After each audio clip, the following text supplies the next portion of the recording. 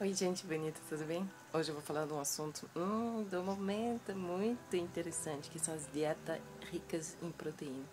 O tal de comer carne, né? Então, assim, eu queria trazer para vocês a dimensão fisiológica de o que, que faz quando a gente come carne. É, eu tenho essa carinha porque, né, tô na quarentena, o bebezinho não tá dormindo direitinho, então P2 e as alheiras estão chocando vocês. A gente pode ser saudável e ter uma cara daquelas. Acontece. Bom, voltando. É, acontece que quando você come carne, a carne ela é altamente ácida. Isso daqui já não é segredo para ninguém, né? Vamos encarar. E aí o que, que acontece? O corpo ele, ele entra numa numa batalha para limitar essa acidez. Então, o que, que ele vai fazer? Ele agita todos os eletrólitos que ele tem para tentar compensar, né? Então, faz com que assim a gente faz um aproveitamento do, do nosso da nossa bagagem elétrica, fisiológica, para compensar uma agressão. Então, é, ela irrita, ela inflama, tá? Por quê? Porque proteínas são estruturas, não são componentes que o corpo possa utilizar diretamente para seu proveito eh, energético. Ou seja, pode comer carne? Bom, a gente vem comendo, não, não morremos tão rápido, senão aí comeu, morreu. Teria sido mais simples a gente entender se fosse o caso. Não, mas é uma chama de consciência para a gente entender. Demora um pouquinho mais, a gente tem que decompor, degenerar né, pelo abuso e pelo uso contínuo, pela, pelo consumo contínuo dessas estruturas. O gasto energético que o corpo tem que fazer para processar essas proteínas, para decompô-las nos seus componentes mais chiquititos, para poder aproveitar a energia contida nelas, é imenso. Então faz com que vocês é, tenham desgasta uh, o consumo de carne, na verdade ele te rouba energia, ele não te dá energia. E essa energia que aparentemente os comedores de carne dizem que sentem ao comer carne, é energia estimulada. Ela é oriunda da adrenalina contida na carne. A adrenalina que é o medo que os bichos sentiram na hora de morrer, fizeram com que os suprarrenais deles abalados produziu adrenalina, que é a norepinefrina se chama, é um técnico, que é um neurotransmissor. E isso daqui, ao você ingerir a carne deles, falecidos, tadinhos, nossa, dá aquele. Hum, isso aqui é de curto prazo e não é energia dinâmica que é proveniente do seu alimento. É uma energia que você, tipo, vai receber porque somos mamíferos e a gente tem os receptores da mesma natureza, tá? Mas isso daqui prejudica o seu sistema e com o passar do tempo as suas próprias suprarrenais podem ficar enfraquecidas por conta disso, porque você também vai produzir adrenalina na hora de morrer. E e faz com que elas podem se tornar preguiçosas em produzir seus próprios neurotransmissores. Então isso daqui não é nada bom. Ó, viu? Até a Lilu desaprova total. Bom, o, o terror ambiental que a produção de carne está causando também não é segredo para mais ninguém. Destruição da floresta, destruição dos solos, compactação, erosão, poluição das águas, consumo da água potável para um destino muito pouco interessante, detonar a floresta para plantar para plantar grão para nutrir boi. 85% do, da produção de grão é para nutrir o boi que as pessoas vão comer. Eu já ouvi alguém falando ah é a Amazônia está acabando por causa dos vegetarianos porque eles estão plantando soja para nutrir os vegetarianos. Não tá? E tem alguns fazendeiros que acabaram né tendo os animais porque eles são lotados de hormônios de crescimento, antibióticos, os bichos estão ficando doentes. Eu me lembro de me deparar com é, um valor de 85% das vacas norte-americanas tinham leucemia crônica. Isso faz com. Imagine, aí elas morriam, os, os fazendeiros simplesmente moíam os animais, misturavam com a ração e dava para os outros animais vegetarianos comerem. Isso daqui desencadeou o aparecimento de doença horrorosa, como a febre aftosa, vaca louca, etc. E, tal. e sem contar que eles davam isso para animais que não são nem feitos para comer carne. Então, uf, e para quem depois os seres humanos comem, chamam isso de boa comida, nutrição superior tá? Quando eles dizem que a proteína da carne é superior, é porque ela é muito parecida com a nossa. Somos mamíferos também, gente. Mas na verdade o corpo seu não pode aproveitar essa carne. Ele vai ter que decompor no seu estágio de aminoácido para poder utilizar. Porque como elas são estrutura, elas são bloco de material. Então isso daqui não é, é um material que você pode aproveitar para sair fazendo uma maratona, por exemplo, como você poderia com as frutas e vegetais, entendeu? A Lilo está acordando. E é isso. E além do mais, tem muito ferro, que é em grande quantidade ele é tóxico.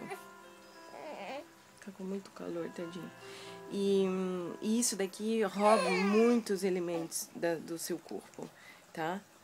E, e além do mais, é, a carne são células mortas ou morrendo dentro de um poço de sangue em putrefação. Tá? Você, sua fisiologia pede por frutos e vegetais. Então, quando você bota esse tipo de material para dentro, causa uma reação imunológica muito grande, tá? Então, é como se você é, inserisse assim material destrutivo dentro de você. Isso daqui é prejudicial, não precisa um doutorado para sacar isso. Tanto que quando você come, você sente isso daqui, né? Então, é isso. E, além do mais, quando é, suas suprarrenais não conseguem mais produzir os neurotransmissores para processar aquilo ali, ou tentar pelo menos, o que, que acontece? O seu fígado tenta ajudar e começa a produzir colesterol, que é uma gordura, para tentar isolar esse ácido todo, embrulhá-lo dentro da gordura. E aí começa a, a essa, esse colesterol começa a se juntar às proteínas e colar-se nas paredes intestinais tá? E a carne vai lá apodrecendo. E aí o que que acontece? Daí seu corpo começa a apodrecer também. E isso é material para quê? Para desenvolvimento das colônias de parasita, que eles não não tão, não são ah bicho ruim, não, eles estão fazendo o trabalhinho deles. Você que está alimentando ele. Você talvez ouviu falar do trabalho de um doutorado francês lá da década de 80, é, ele fez, estudou, na verdade, a questão da trofobiose, que explicava que as plantas não precisavam de agrotóxico, porque uma planta saudável ela não é de interesse para umas pragas. É, ela vai fazer um cortezinho, vai, vai testar a seiva e vai, vai ver que não tem nutriente solto, ou seja, ela está fazendo um aproveitamento ideal dos seus nutrientes. Então, não é de interesse da praga. A praga segue e vai procurar um enfraquecido, porque é assim, a natureza funciona assim. Ela sempre regeu, né? Se, é, os fracos não sobrevivem, os fortes sim. É cruel? Não sei. É uma estratégia da natureza, né? E os parasitas que estão dentro de vocês? Eles comem os dejetos, principalmente os dejetos em putrefação, dejetos de proteína tá? Mas é, é, eles acabam às vezes regendo o que você tem que comer. A hora que você comer, você já reparou que você pode ficar até bravo quando você está com fome e que você tem uma compulsão por comer determinadas coisas? Não é você que está mandando nessas horas, são seus parasitas. E eles podem ser microscópicos, só que eles são uma legião. Aí eles mandam em você. Tá?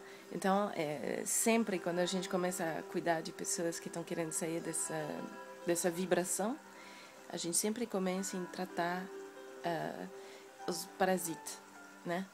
Deles, para ver com quem que a gente está lidando primeiro. E daí depois a gente começa a reconstruir. Mas é isso, gente. Isso daqui é muito resumido, tem muito mais coisas para se dizer. É, só convido vocês a ler o artigo extenso, coloquei aí bastante detalhe para você, para você repassar para as pessoas que vocês sabem que estão correndo para essas dietas ricas em proteína, muitas vezes eles querem o quê? Emagrecer, tá? Achando que comer proteína isso vai produzir músculo, músculo magro. Gente, talvez a curto prazo vocês emagrecem. Por quê? Porque vocês vão perder muita água, tá? Mas vocês vão acabar com seus rins, seu fígado, seu pâncreas, que já estão esgualepados pela vida que a gente leva. Então, vê se é isso que você quer mesmo, porque é logo mais você vai se deparar com problemas muito mais sérios dentro do seu corpo. Você vai, imagine se você mexe com suas suprarrenais, além disso é o sistema endócrino, que rege toda a parte de utilização dos seus nutrientes. Ou seja, você vai poder estar comendo coisas e você não vai estar aproveitando absolutamente nada. É isso que você quer? Né? Músculo, gente. Você cria músculo malhando. Faça um treino de acrobacia faça um, um, uma aula de Ashtanga Yoga, sabe? Faça prancha, faça agachamento, faça dança afro, sabe? Transpire. Isso sim, isso sim. Aí depois toma um leite de gorila, tá no meu blog a receita. Isso sim vai fazer músculo. Agora, dieta baseada em outro animal, gente, a gente não é comedor de cadáver. A gente não é. Olha seus dentes. Olha o, o comprimento do seu intestino. É muito comprido. Começa a apodrecer dentro de você aquilo ali. Sabe? Pessoas que comem carne fedem, gente. Desculpa a honestidade, mas você, ao largar a carne, você vai perceber seu cheiro corporal vai mudar. Vai mudar para melhor. Hoje em dia, eu não uso nenhum tipo de estimulante, nem café mais. Uhul.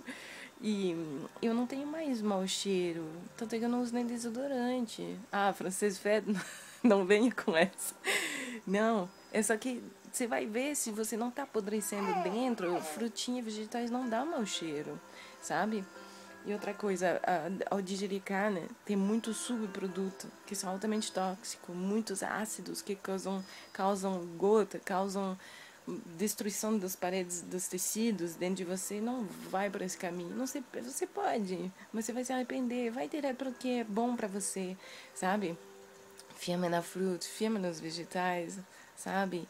É, isso sim vai fazer bem a você, porque agora a conexão entre a incidência de câncer do cólon, incidência de câncer do pâncreas, é, linfoma e tudo mais, e o consumo de carne, não, não, ela é clara, ela é comprovada, sabe? E eu queria ver quantos de vocês que estão comendo carne, se fosse para você matar o bicho e comê-lo, vocês iam conseguir.